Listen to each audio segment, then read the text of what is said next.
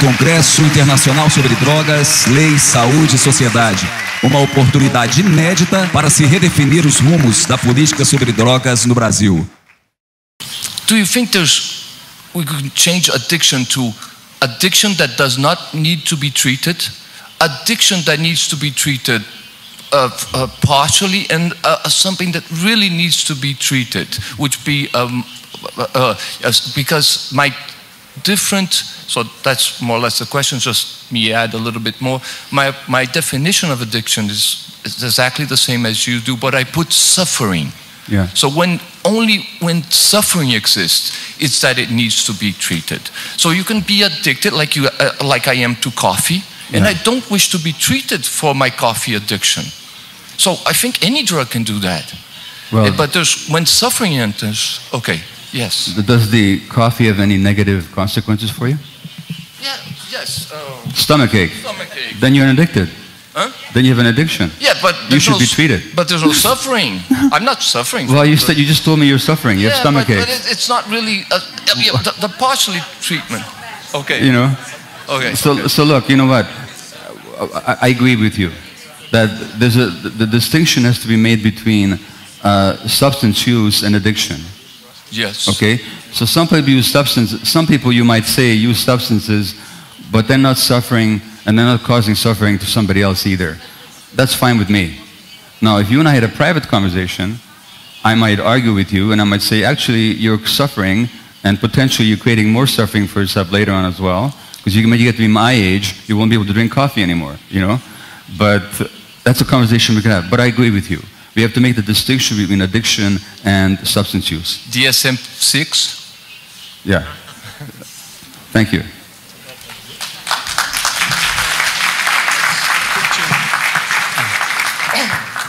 Primeiramente, obrigado pela, pelas suas palavras.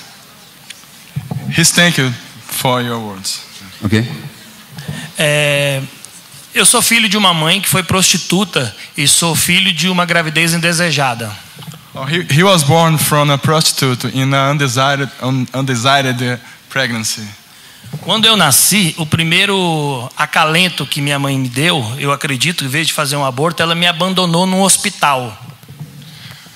Well, the first uh, contact with her, her, his mother actually was being abandoned in the hospital. Okay?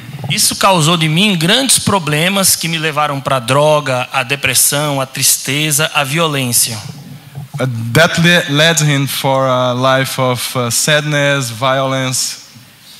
Consegui me recuperar numa instituição que chama Fazenda da Esperança. Há 21 anos não uso mais droga. Well, for 20 years, uh, he doesn't use drugs anymore. He was recovering in an institution called what? Hope Farm. Okay? Agora, eu tive muitas conquistas, mas como voltar à conexão? Voltar, tudo isso que você disse é uma vida normal, tranquila. Eu não tenho essa percepção que as coisas estão equilibradas dentro de mim. Well, a- after all that conquering, he still doesn't feel that things are equilibrated within him. Okay? Sinto que falta algo dentro da minha pessoa, mais que eu me esforce para ser feliz, para amar as pessoas e ter conquista, sinto que ainda preciso é, é, sentir não essa ansiedade de querer mais e mais conquistas. Será que eu preciso, dentro das suas palavras, fazer um acompanhamento e realmente encontrar essa felicidade que você diz que existe dentro da gente? Well, he's uh, a few words. He still feels kind of empty and asking if uh, he needs to to look some kind of treatment to find himself and fulfill this empty, emptiness. Okay, sure. How to do that? He's asking. Sure. Well, first of all, um, let. Um,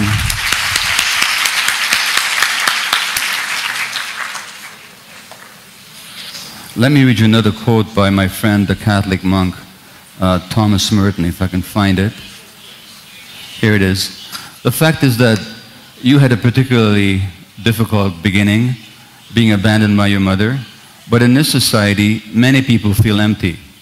Many people feel that they're missing something. In fact, the entire economy, in North America at least, is based on telling people that they're not good enough and only if they buy this or do that will they be good enough. So Thomas Merton writes that um, nowhere, except perhaps in ancient Rome, has there ever been such a flowering of cheap and petty and disgusting lusts and vanities as the world of capitalism, where there's no evil that is not fostered and encouraged for the sake of making money. We live in a society whose whole policy is to excite every nerve in the human uh, body and to keep it at the highest pitch of artificial tension, to strain every human desire to the limit and create as many new desires and passions as possible in order to cater to them with the products of our factories and printing presses and movie studios and all the rest. In other words, we live in a society that makes all of us feel empty. So your emptiness is not unique to you. And the, where that emptiness is, is where we belong. In other words, that loss of connection to yourself, uh, although you've come a long way in your healing, in your recovery, you're still not fully connected to yourself. And that's where you feel empty. And that emptiness, I can't say this as a medical doctor, but I'll tell you as a human being, that emptiness also has a spiritual dimension because where we lose connection with something greater than we are, with nature, with creation, with other human beings, there's also an emptiness. So yes, uh, I understand your emptiness. I've had the same emptiness myself. I think most people in this room have had the same emptiness themselves. Maybe not to the degree that you have, because maybe we haven't suffered to the degree that you have, but we understand the emptiness. And yes, you've got more work to do. You've got more work to connect to yourself, and you've got more connect, work to connect to something greater than we are.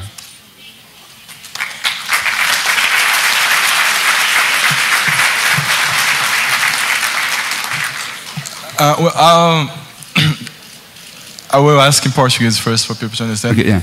Bom, eu vou perguntar para ele se, considerando o fato do estresse ser um, um evento que em si pode tornar a pessoa é, ter uma tendência à, à adição, se o estresse de uma internação compulsória em si não tornaria a pessoa pro, é, com a grande probabilidade de, de voltar a ter, enfim, de recaída, né?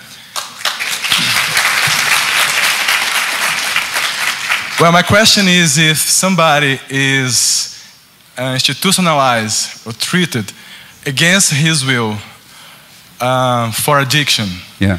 under the the talk, under the argument that he will be for that that's for his good.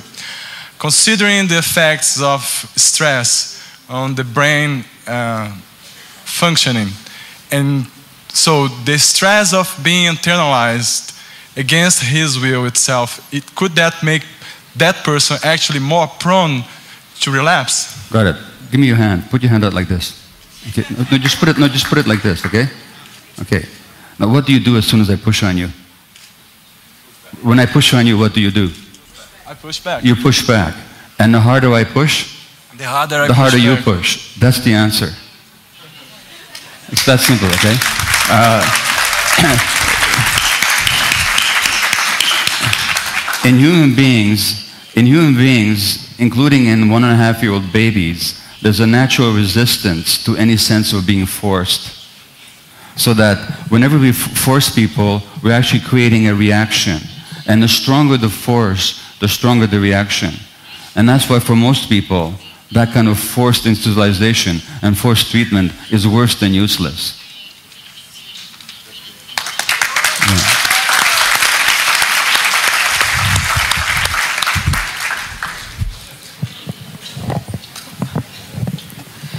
Muito obrigada pela conferência.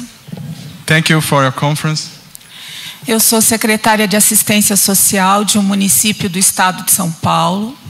She's a secretary for social assistance of uh, São Paulo. uh, what? Uh, city of São Paulo. City, okay, yeah? Ah, no- nos nossos abrigos de população de rua, nós recebemos algumas mulheres que estão gestantes e são usuárias de crack. They receive people, uh, women that are pregnant that live on the street and are addicted to crack cocaine. Yeah. e nós temos muita preocupação com o desenvolvimento desse bebê e nós temos uh, bastante trabalho para manter essas mulheres nos nossos, nos nossos abrigos, para que elas não saiam para usar a droga. Of course, they are very worried about the effect of this use to the child, but Yeah. it's hard to keep that those wom- women in treatment. Yes. Muitas vezes a nossa contenção é, é física, é feita a partir do, do abraço, sempre do convencimento, ah, porque esse é o jeito que trabalha a assistência social, mas mesmo assim elas saem para usar droga. But she's saying that they make an effort to conquer the confidence of the people, but uh, even so, they relapse. They go after the drug.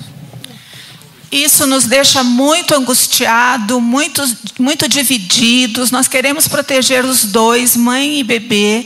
E nós queríamos que ah, o Senhor nos, nos ajudasse no sentido de apontar caminhos, o que mais nós podemos fazer, nós, a assistência social, e o que mais as outras políticas públicas podem fazer junto com a nossa.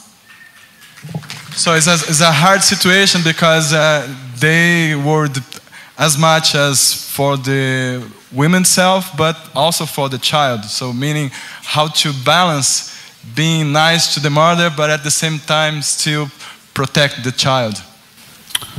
Well, I don't think it's a contradiction. I think that you can um, be nice to the mother and still protect the child. Now, sometimes that means that you actually have to take the child away from the mother. Sometimes you have to do that. Not as often as we do. We do that way too quickly and way too thoughtlessly. But even if you take the child away from the mother, you can still be nice to the mother. You can still say to the mother, look, mom, I know that you're doing your best. I know that you are actually wanting to be a good mother to your child. Right now, to protect your child, temporarily, we have to look after the child because you're not looking after the child. What when the the woman's still pregnant? What what if what? Oh, if the woman is pregnant? Yeah. Okay.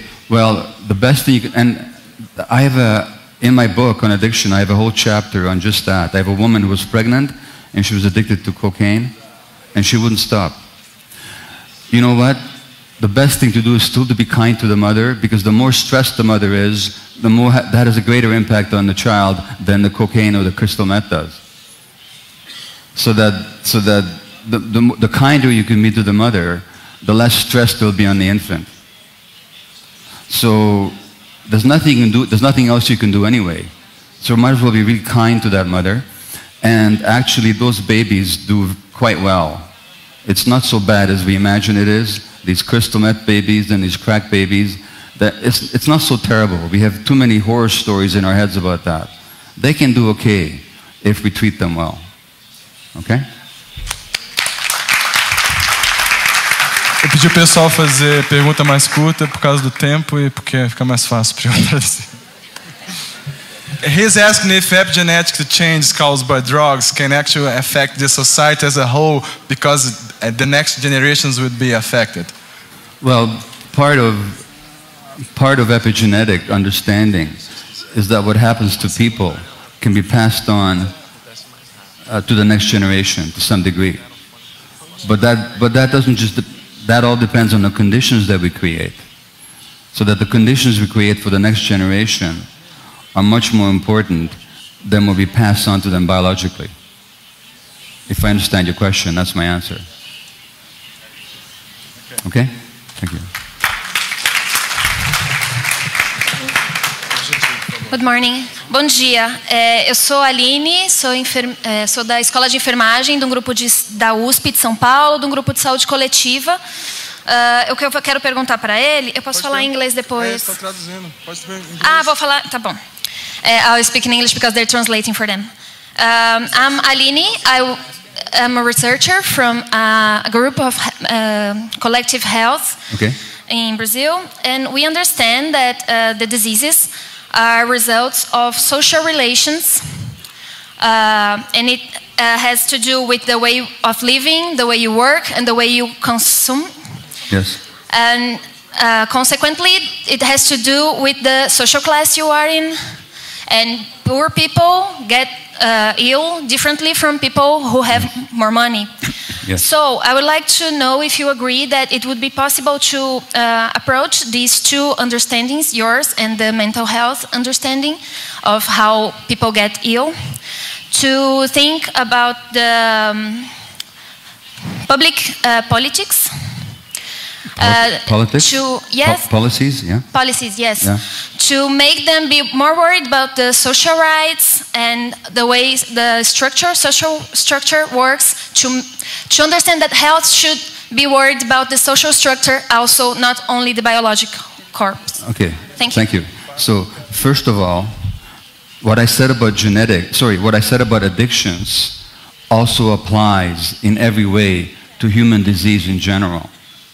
In other words, those early experiences, which are very often conditioned by social factors, have an impact not only on who gets addicted and who doesn't get addicted, but also on who gets cancer, who gets rheumatoid arthritis, who gets mentally ill. So those adverse childhood experiences studies that I told you about, they, they show that there's a relationship in early experience, not just between early trauma and addiction, but also between early emotional loss and trauma and mental and physical illness of all kinds. Now, of course, that can affect all social classes, but it's certainly true that the more stressed people are, uh, the more prone they are to get sick, which is why around the world there's significant differences in the health and life expectancy of people who are poor as opposed to people who are well off. And that's not just a question of individual experience, it's obviously also a question of social structure and economy and who controls and who makes the decisions and what is the agenda of the people that make the decisions. But that's just the problem. That's just the problem. Because when it comes to policies, let's be realistic about it. Who controls things? Who has the greatest influence on politicians? It's not the average person. It's the people who make the most profit from this system. It's not necessarily in their interest to change things very much. And that's why the dilemma of on the one hand we have the understanding and the science, and on the other hand we have the institutions and the structures and the policies that don't make any sense from the human point of view, but they do make sense from the profit point of view.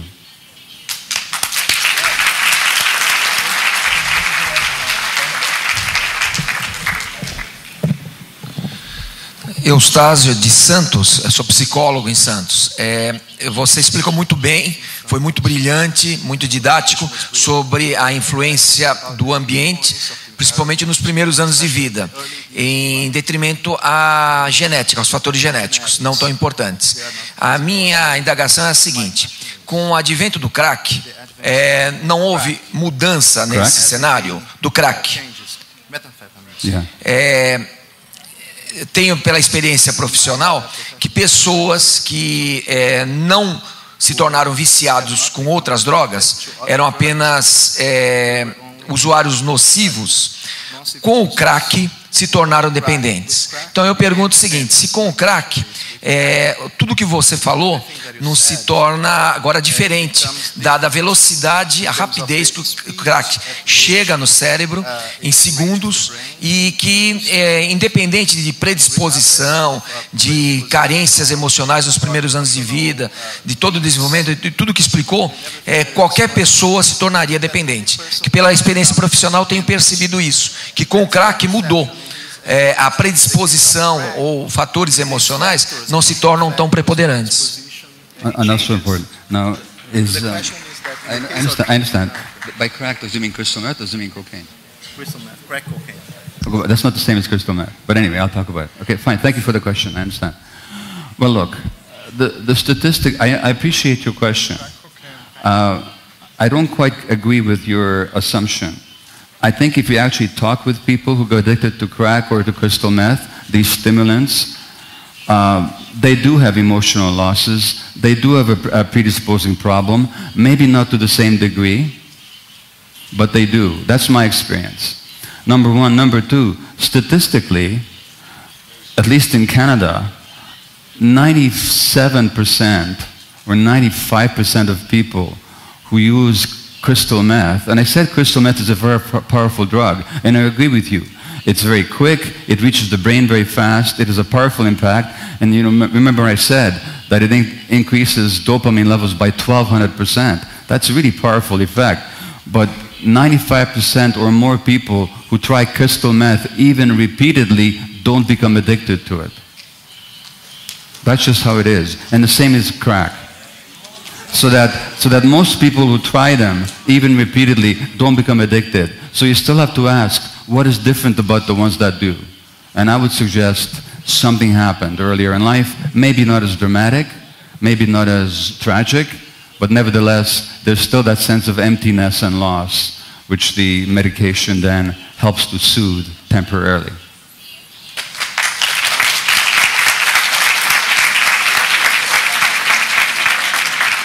É, bom dia, meu nome é Priscila, sou de Recife.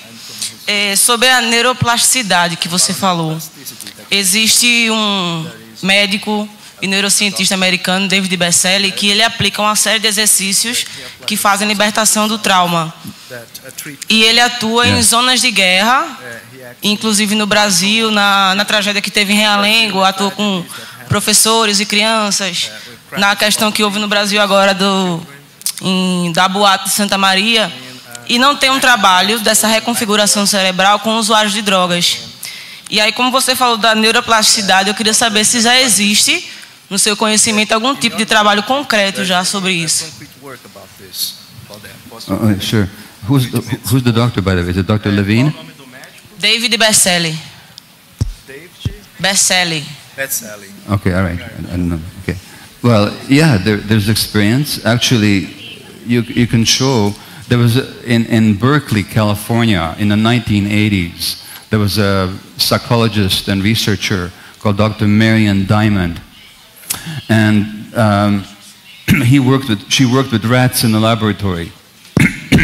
and they took rats at different ages, newborn rats, adult rats, old rats, and even some rats that they deliberately damaged their brains. So they deliberately brain damaged rats at birth. Then they took these rats and they exposed them to different levels of environmental stimulation. Some of them got larger room to play with, more animals to play with, you know, more companionship, better food, uh, more stimulation than other rats. And what they showed that at any age, whether old or young, and even rats that were deliberately brain damaged at birth, after a couple of months of this better stimulation, better social support, they were better able to find their way out of a maze. They were smarter. And when you autopsied their brains, in the front part of their brain, they had larger nerve cells with more connection to other nerve cell and richer blood supply.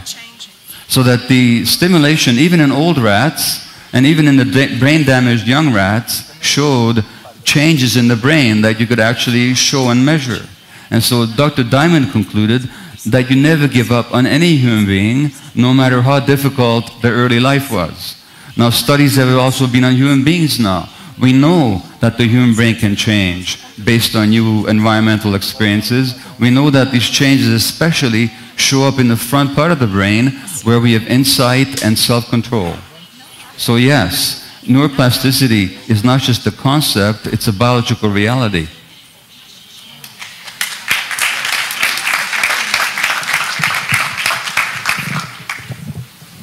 Hi, my name is Andrea, and I worked with Crystal Met in the change in the reward system promoted by it in Ireland. Uh, you said addiction is not promoted by the drug itself, but need a combination, and I agree to it. But if the met increased dopamine in 1200 compared to food 5000, Yeah. the, risk, the risk to change the reward system is much higher. Yeah. Uh, so how to avoid it? Even in the people without any or less combination, how we can avoid it? Well, you're quite right. And what happens after uh, prolonged use of the stimulants is that the brain itself changes. So if you looked at, at brain scans of addicts, whether it's cocaine or crystal meth or, or, or heroin, but those brains don't look normal anymore. They look different. And particularly in the case of crystal meth, uh, the number of receptors for dopamine have diminished because there's too much dopamine up there and the number of receptors diminish. And that means when they stop using drugs, now they don't have enough dopamine. That means they're going to be irritable and depressed and short-tempered and dysfunctional for a long time.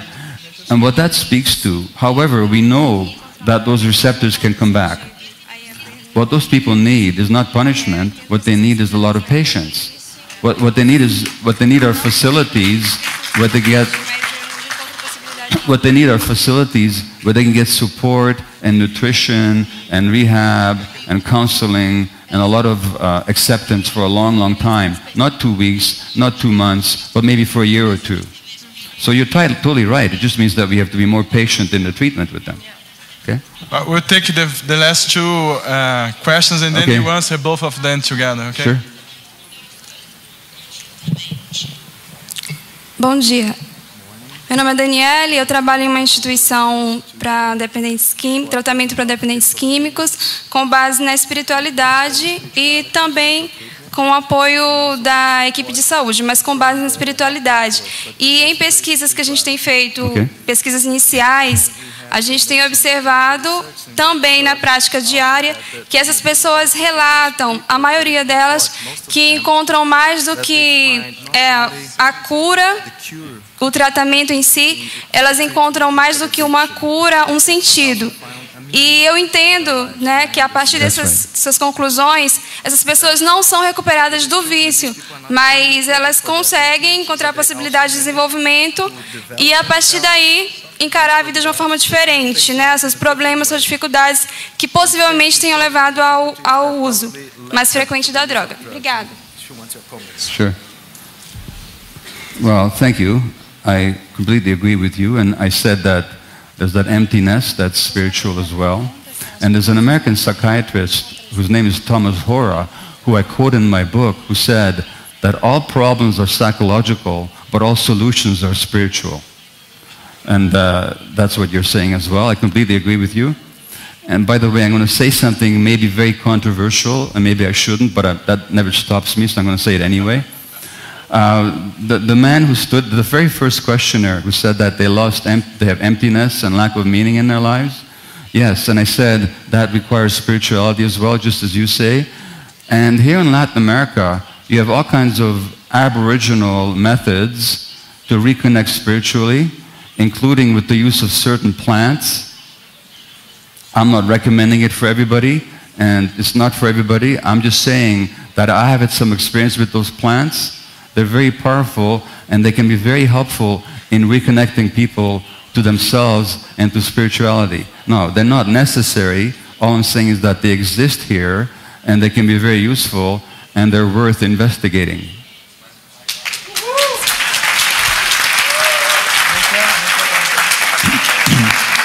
Okay? Bom, a gente vai fechar aqui é, a apresentação do Gabo. Muito obrigado. Thank you very much, Gabo. It was Yeah, thank excellent.